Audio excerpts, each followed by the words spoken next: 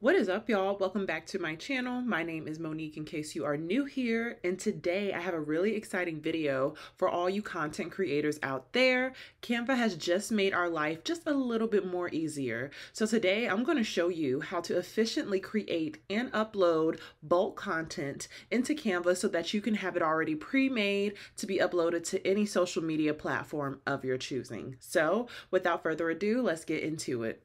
So today I am using the Canva app through my MacBook, um, but you can definitely use it through your browser or your phone and the steps will be the exact same. So as always, we start off on our home page. And so what we're going to do is create the appropriate format for our content that's going to be uploaded to our social media. And so today I'm going to be bulk creating Instagram posts. So that's what I am going to look for.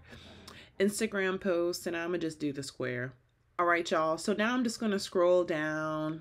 So what I plan on bulk creating is quotes. So what I'm going to do is find a template that looks good with the quotes that I want to post. Um, so I'm going to use this template right here. Then I'm going to create or customize this template. So here is what everything is looking like once it has been uploaded. So next I'm going to go over to the left hand side and scroll down to apps.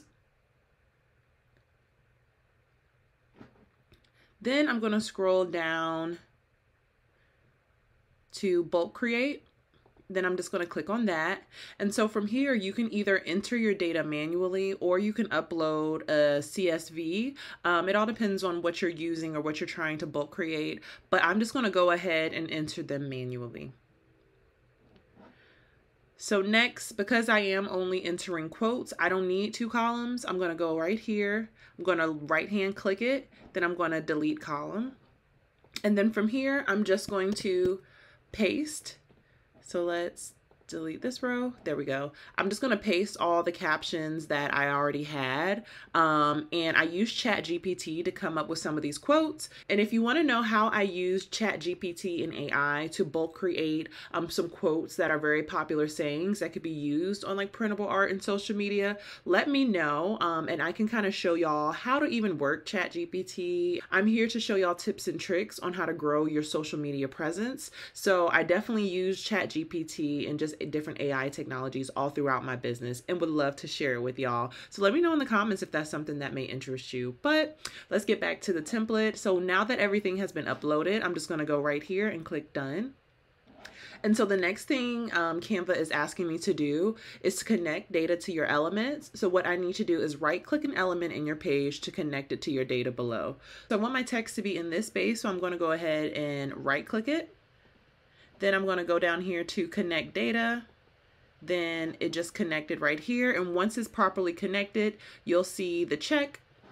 Then we're just going to hit continue.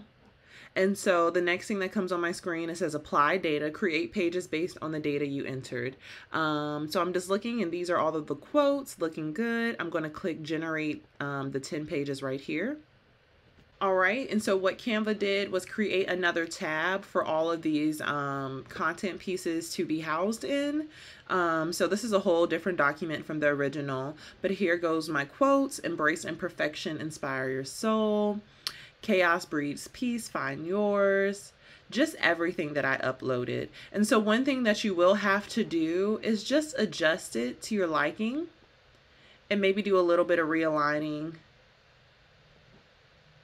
but for the most part, um, the bulk of the work is done through Canva and it makes your life so much easier. So thank you so much for watching. I hope this video has been helpful. I hope you get out there and create.